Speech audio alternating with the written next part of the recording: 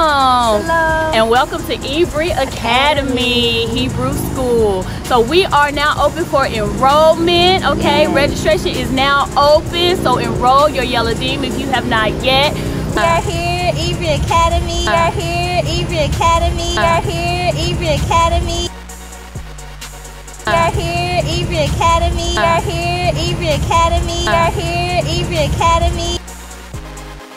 So if you have not enrolled your child for Ibri Academy before, here is the start of the year. You can enroll your child. So make sure to get enrolled and signed up. In order to go to registration, you want to go to our website at www.ibriacademy.com. And if you have any questions, please hit us up at ibriacademy at gmail.com. See you soon.